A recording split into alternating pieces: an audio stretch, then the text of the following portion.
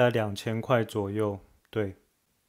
你是不是以为我会要你看到影片最后再告诉你多少钱？这是我的后台，然后点这个月份可以看到半年内收益，九月是一五二三，这边都是用现在汇率换算成台币的金额。十月一八九八，十一月一七三七，十二月一八八五，然后上个月感觉暴增一波有三一一五。这边我觉得主要是游戏公司有下广告，导致我频道那个少女战争的攻略影片流量增加，所以可以预期，如果停止下广告之后，游戏影片的流量也会跟着下降了。那我发现这件事情之后，当然是趁胜。追击啦！这两个礼拜都周更游戏攻略，所以这个月也有两千多了。然后上个月我朋友在鼠来宝那个影片有抖内给我七十块，那个也算一月份收益，所以一月又多了一点点。大家知道 YouTuber 要一千订阅加四千小时的观看时数才能申请盈利吗？所以两千订阅等于是过盈利后的一个坎吧，一个小坎。那当然有些频道也是一下就破万订阅，我这边就是温馨小台，所以跟大家分享一下最小型的 YouTuber 可以赚多少。那最后是分享一下我频道浏览次数，上个月影片五万多，短影音十万，也就是说以一月数据来算的话，大概是总和十五万浏览可以赚三千台币。